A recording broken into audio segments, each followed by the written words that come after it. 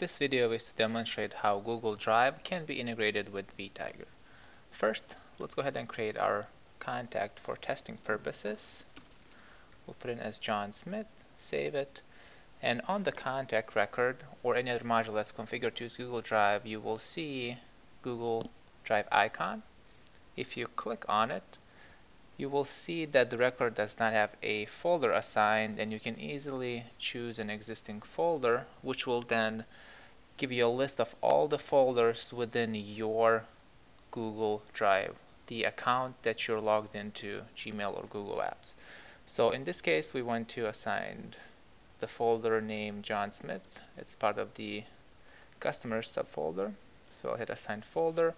And what happens next, the folder gets then pulled into the Google Drive section. And you can see if we scroll down, all of the files within the folder are shown. So from here, you can either open the folder in Google Drive and see all the files, or say you can click on one of the files and assuming it's an Excel or Word or text file, you can then make changes as needed. So this change will be automatically saved in your Google Drive as well as will reflect in the vTiger's Google Drive area as well. Um, next, let's take a look at our other example. So we'll go to projects, under projects.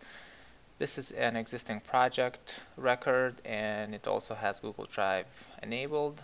If we open the Google Drive, we can see that in this case we have multiple fol folders within the project, damage inspection, solar panel install, and so on. So you can easily assign new folders to any record in vTiger. And from there, you and your team, assuming the folders are shared within the company, will be able to access those as well.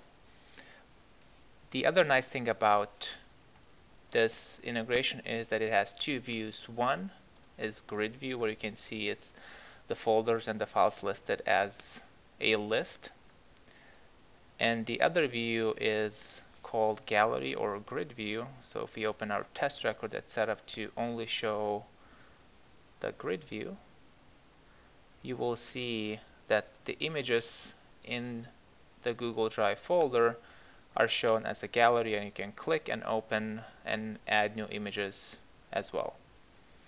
Now the way it's configured is if we go to our settings, CRM settings, under other settings we have Google Drive integration and that's basically enabling the integration and the configuration you'll just need to look at our user guide and see how that's configured and how to obtain that JSON file.